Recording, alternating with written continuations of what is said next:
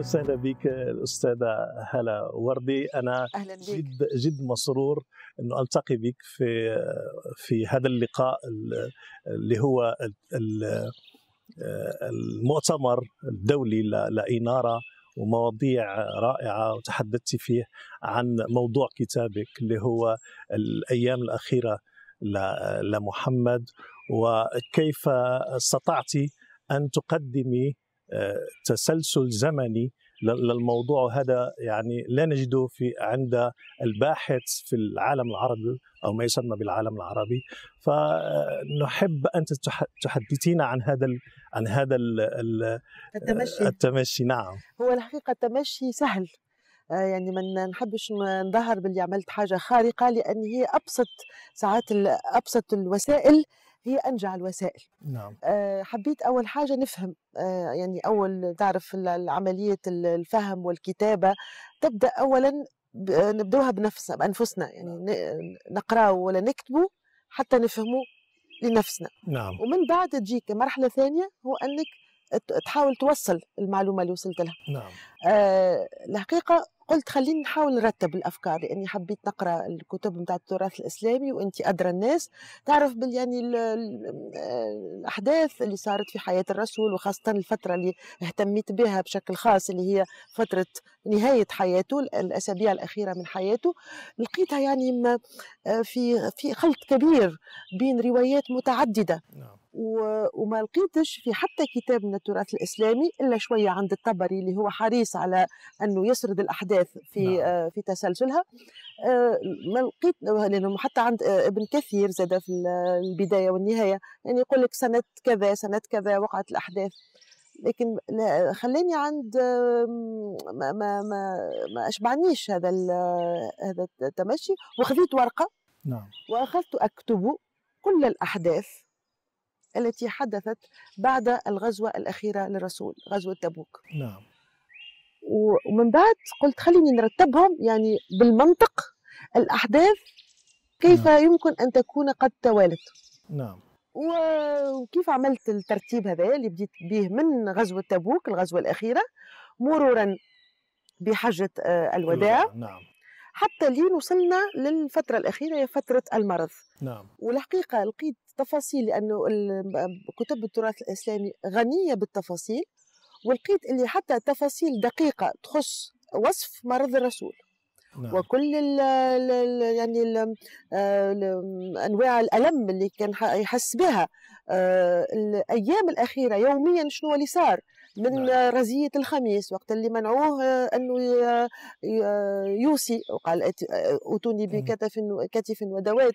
نعم. آه اكتب لكم كتابا لن تظلوا بعد. نعم. آه ونهار الجمعة لما هو كان عاجز أنه يقوم من السرير وأنه يمشي يصلي بالناس آه وقتها طرحت مسألة أنه أبو بكر الصديق ينوب في, في الإمامة لكن نعم. الحكاية هذه اتضح أنها غير متفق عليها حتى يعني في مصادر السنة نفسها. يعني فيها تشكيك. فيها تشكيك. نعم. حتى لين نوصلوا للفترة اللي هي بالنسبة لي الفترة الحرجة هي اللد عملية اللد اللي صارت له يوم قبل وفاته نعم. يوم الأحد. هو كان من كثرة الوجع كان ساعات يسقط في غيبوبة. نعم. ومرة هو يوم الأحد سقط في غيبوبة ولما استفاق حس اللي هما حطوا له دواء على شفتيه هذه يسموه لدوه. نعم. لكن هو غضب قال لهم علاش حطيتوا لي دواء؟ وقالوا له أحنا عندك ذات الجنب وهذا الدواء باهي. قالوا لهم لا. الكلكم تاخذوا من نفس الدواء الآن أمام عيني لأنه كان عنده شكوك. شك نعم. كان عنده شكوك في نوعية الدواء اللي تحط على على على شفتيه. نعم. ومن من الغد يعني منذ الغد توفى يعني ما ومن بعد تجي الفترة اللي هي محرجة أيضا بالنسبة لل للذاكرة الجماعية بالنسبة للمسلمين نعم. هي أنه وقع تأخير فظيع في دفنه. آه هذا موجود عند أهم نعم. المصادر المصادر نعم ابن سعد الطبري ابن كثير كلهم يحكيوا على حتى طريقة جسد الرسول كيف بدأ يتعفن نعم. معناها آه، باردون معناها ما- أنا آسفة أني نحكي هكا نعم. نعرف اللي ممكن هذا يخدش شعور بعض المسلمين لكن ال- ال- ال- الوصف يعني الوصف موجود, في كتب التراث يعني نعم. مش نجيب فيه من من راسي نعم آه وتأخير ال- الدفن كان عنده بالنسبة لي سببين نعم. هو السبب العقائدي هو أنهم كانوا يعتقدوا الكثير من المسلمين أنه سي سيبعث سيبعث من جديد نعم. كالمسيح بعد نعم. ثلاث أيام ووقت عباس كانت عنده عبارة عباس عم الرسول كان عنده عبارة قال عجلوا بصاحبكم آه يعني بما معناه لو لو آه لو ربي كان عنده نية أنه يبعثوا.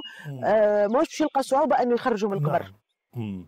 والسبب الثاني هو سبب سياسي بحت هو أنه الكثير من الصحابة آه، حاولوا يغتنموا الفرصة أنهم يسويوا مسألة مسألة الخلاف لا، مسألة الخلافة قبل ما تقع عملية الدفن حتى يحطوا العائلة خاصة نعم. عائلة الرسول أمام الأمر الواقع وهذا اللي صار فعلا لأنه وقت اللي صارت البيعة العامة لأبي مم. بكر الصديق في الج... في في ال- في الجامع آه، وقتها علي والعباس مشغولان ب- آه، بالدفن نعم. وجاء البراء بن عذاب بن عازب قال لهم آه، لقد بويع أبو بكر وعباس يعني من هول الصدمة آه، آه، يعني رفع يديه إلى إلى السماء وقال لعلي قال له مم. ألم أقل لك يا علي لم يرى. مثل هذا قط يعني انكرويابل يعني تجرأوا نعم وفعلوها نعم هو كان في سؤال أحد الأعضاء نرى قدموا على أساس أنه هل هذه القصة هي لها أرضية تاريخية عندنا إثباتات أو تاريخ مادي ام أم هي يعني مجرد أسطورة أسطورة. جاءت بعد آه، أكثر من من قرن؟ قرنين. و- نعم. وهذا المسألة مطروحة بالنسبة مش كان لل- لل- للفترة هذه اللي اهتميت بها هي مطروحة أصلا حتى بالنسبة لوجود الرسول نفسه ولا المكان الدعوة حتى ولو إن وجد. يعني ال- المسألة هذه متاع أنه هل مصداقية المصادر الإسلامية مطروحة؟ مطروحة آه، أنت بشكل آه، نقولوا جذري.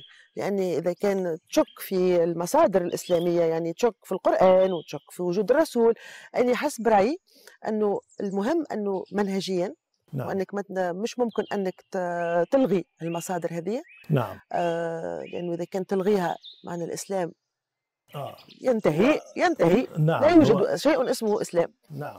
آه، لكن نجم نتعاملوا مع النصوص هذه بحذر وأن نحاولوا نتجنبوا الصعوبة نتاع أن هي فاقدة للمصداقية لأنه فما فترة زمنية مهمة تفصلها عن الأحداث التي ترويها نعم هذا أكيد آه، في ظل غياب وجود مادة وما- آه، يعني وثائق. وثائق نعم وثائق نعم. يعني من من عهد الرسول يعني نعم. حتى ال حتى ال ال الآيات القرآنية اللي وقع وهذا ما تقولوا ال- المصادر وقع من كتابتها في عهد الرسول كان. عنده كتاب منهم آه، آه، معروف أبي بن كعب كان هو من يعني سكرتير نتاع الرسول.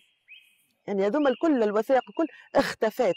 نعم. اختفت. كأني يعني فما عملية ممنهجة لاخفاء هو الحقيقة ديما. يقولوا هو الماضي ديما فيه آه، جانب نقولوا غامض. نعم. لأنه اختفى بعد علينا. لكن بالنسبة للإسلام هذا الغموض يعني ما ما يزيد يزيد تاكدوا عملية اختفاء الوثائق. نعم اختفاء الوثائق والوقت قد من- داهمنا آه الحديث معك ممتع أشكرك على إن شاء الله نلقاو فرصة أط- بطريقه مطولة. نشوفوا يعني سؤال آخر. شكرا شكراً، شكرا, شكراً. على الدعوة. شكرا.